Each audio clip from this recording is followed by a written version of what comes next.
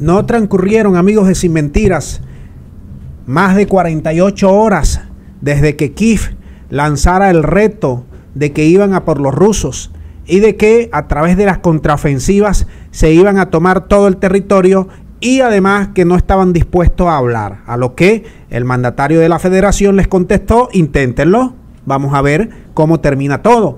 Bueno, si es así, amigos de Sin Mentiras, el Ministerio de Defensa de la federación acaba de emitir un comunicado en el cual da cuenta que prácticamente Putin no esperó 48, no, mandó a lanzar todo.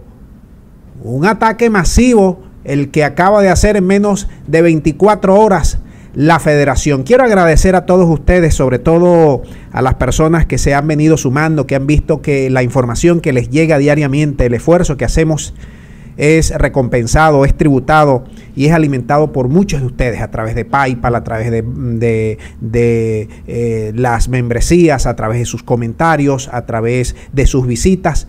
Todo suma.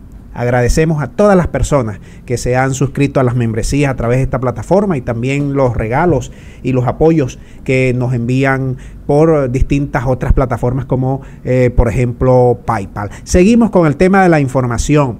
Entonces se lanzó, se lanzó una ofensiva masiva. Se lanzó una ofensiva masiva en Gerson, en Mykolaiv, en Kharkov y en Donetsk.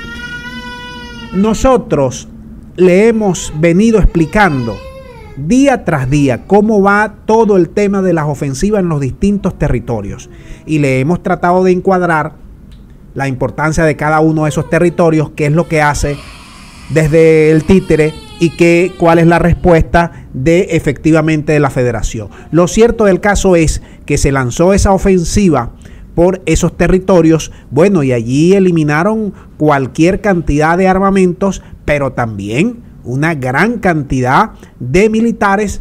Se computa en más de 120 las muertes.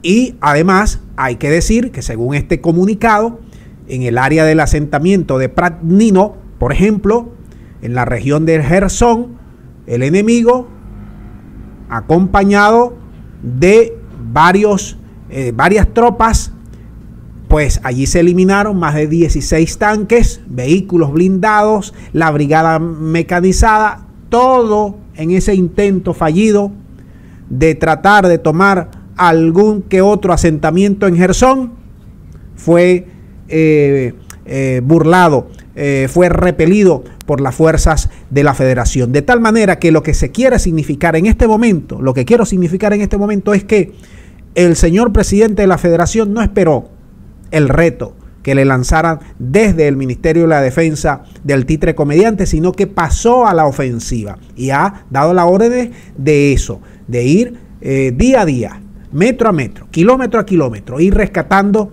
e ir conquistando espacios, territorios. Así que le dijo muy claramente que si no van a alcanzar ningún acuerdo con Rusia, que no está interesado en ningún acuerdo, por lo menos que lo intenten. Y si lo han intentado, estos son algunos de los resultados que ya comienzan a mostrarse al mundo. Vamos a dejar el video hasta aquí. Espero sus eh, orientaciones al respecto. Muchas gracias. Será hasta la próxima.